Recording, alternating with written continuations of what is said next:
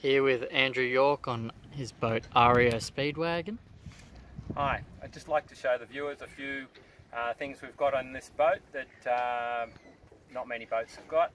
Um, let's start with the, um, the big footrest in the centre of the boat. We've um, made that um, ergonomically so you can um, sit on the side of the boat and brace yourself, um, especially good for the skipper downwind. And when you're tacking and jibing, you only need to get halfway across the boat to get your stability and not fall to leeward. Um, up on the boom here, we've got a pivoting cam cleat. Uh, we've got a jib fine tune on here, an extra four to one purchase on the um, on the jib sheet, which is great. It allows us to uh, uh, fine tune the jib, play it in gusts upwind. Um, it's very easy to use and quite helpful. And another thing is just uh, on this boat, we've got a hydraulic ram here.